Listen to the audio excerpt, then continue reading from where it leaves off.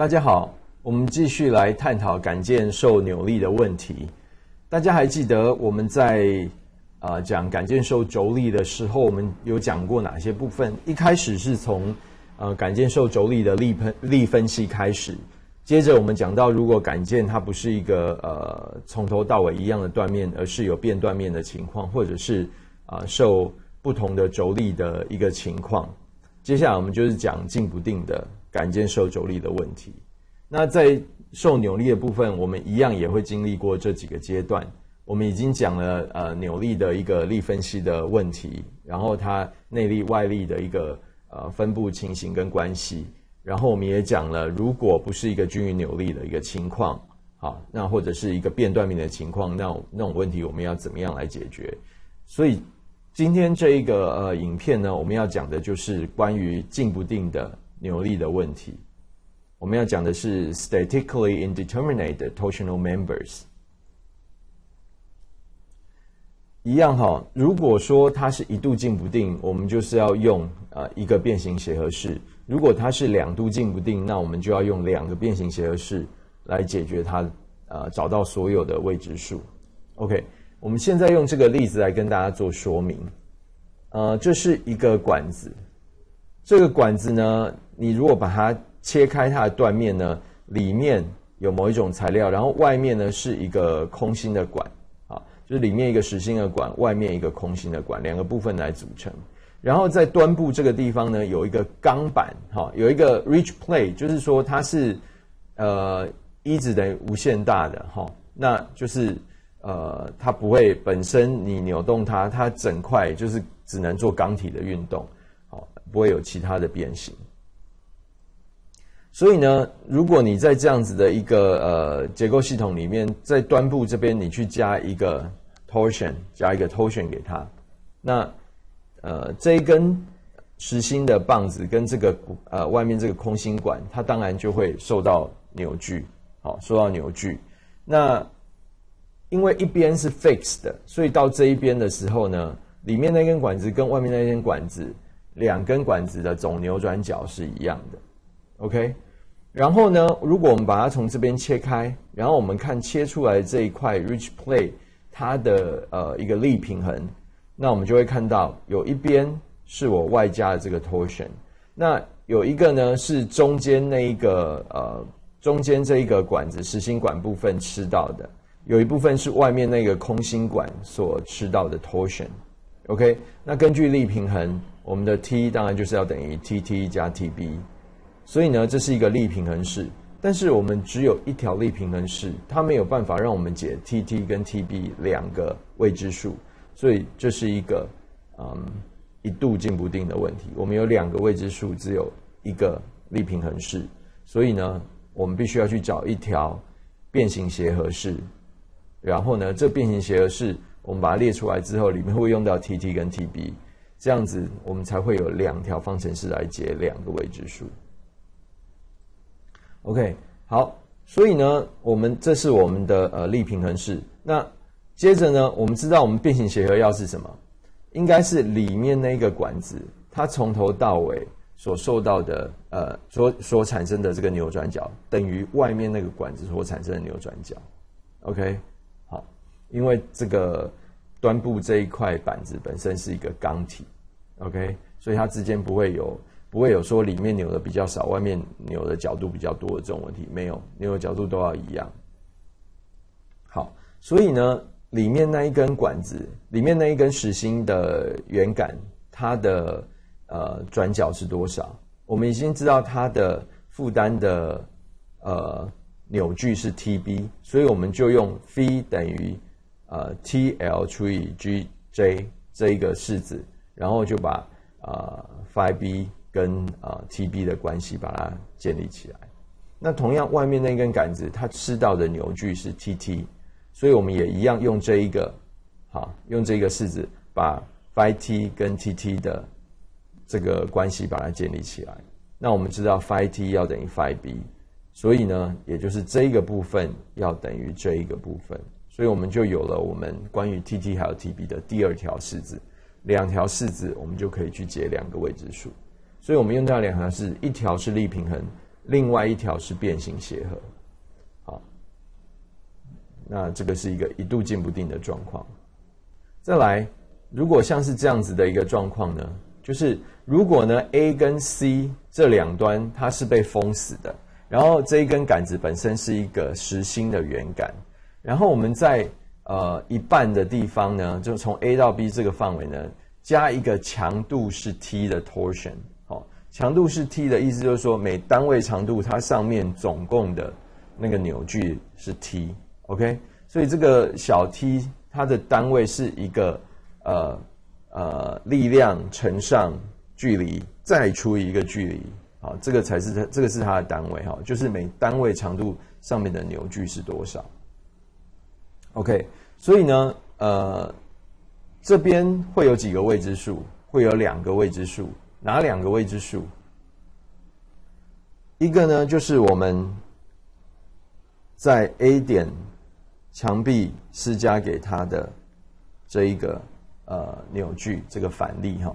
再来呢就是呃在 C 点这个墙壁呢施加给它的一个反力，OK，那大家记住哦，就是我刚开始我其实根本就不知道，我这样子画的时候，其实我已经先把我的分离体已经切出来了，我切的是什么？我切的是这一个。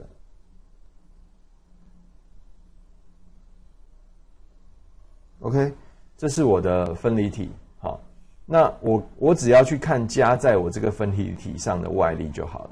那所以我在这边写这个 TA 的时候呢，你们要注意，就是说我指的是墙壁作用在我的杆子上面的，啊，那个力量，这个扭矩，而不是我的，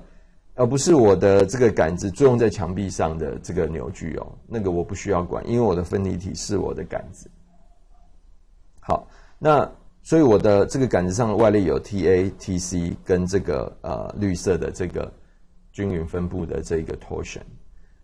那我们有 T A 跟 T C 两个未知数，OK，两个未知数。但是呢，我们只会有一个力平衡式，那个力平衡式就是所有往这边的扭矩呢要等于往这边的扭矩，对不对？好，所以我们写出来就会变成 T C 加上。这个 T 乘上 L，它要等于 TA，OK，好，这就是我们的力平衡式。那大家要注意，就是说我其实是一开始我根本就不知道 TA 跟 TC 的方向到底是朝哪边的，所以呢，这个是我假设出来的。但是我一旦假设好了，我就要按照我的假设去列式。这件事情我们已经讲过非常多遍了哈。那在这边也是一样的情况。所以一开始 TA 跟 TC 的方向是我假设的。但是我只要后面开始，我都按照我的假设去列式。那我算出来，如果我一开始的假设是错误的，应该是相反的方向，那自动我算出来就会带一个符号在里面，所以就不用担心。好，所以我只有一条式子，我只有这一条式子，这个是我的力平衡式。但是我有 T A 跟 T C 两个未知数，那怎么办？所以我一定要来找一个变形协和式。那你知不知道要找什么变衡变形协和式呢？在这边应该慢慢的要有一点呃判断的能力了哈。在这一题里面，我们要用的变形协和式就是从 A 到 C 这之间被我扭过之后，它的总整根二 L 长度的总扭转角是零。好，为什么是零？因为它两端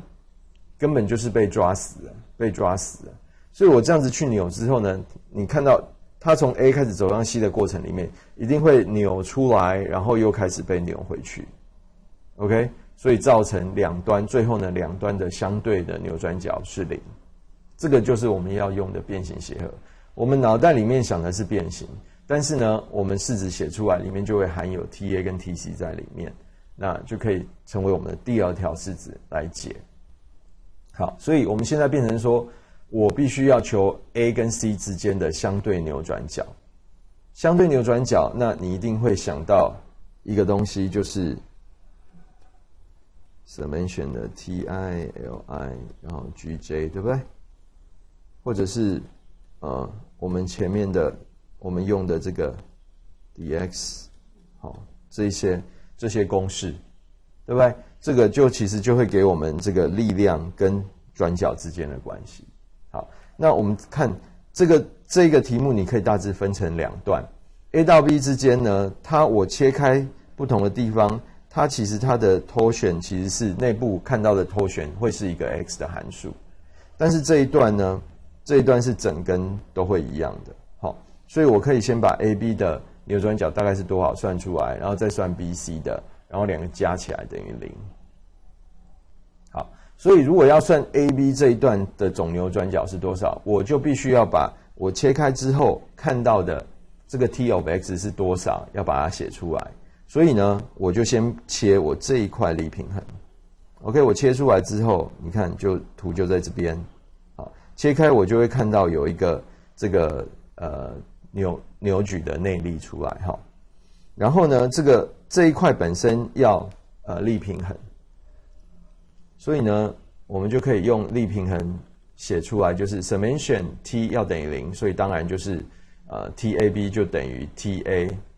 减掉 t of x，或者是你可以写成 t a b 加上 t of x，就所有往这边的等于所有往另外一边的扭矩，好，这条式子就有了。那这个就是我们要求的 t a b，那我们就可以把等一下把这个 t a b 带进去这个积分式里面，好，我们就可以计出从。A 到 B 之间扭转角是多少？那再来是 BC 的扭转角是多少？OK，那我们一样，我们就把它切开。切开，我们来看到这一块，这个是我们的呃分离体，我们把它拿到这边来。好，所以我的 TBC 就跟我的 TC 大小是一样的，从这个东西的力平衡就可以看得出来。好，我们现在有了这两个式子，再来就是要把 T。跟 v 之间的关系，把它弄出来。好，所以在 A B 的部分，我们就是把这一个式子带进来，啊，这个积分式。好，然后在 B C 的部分呢，我们因为整根的 G 也一样，J 也一样，然后那个内部的这个扭矩的大小都是一个 constant，所以我们直接带 T L 除以 G J 就可以了。然后呢，这两个加起来要等于零，所以。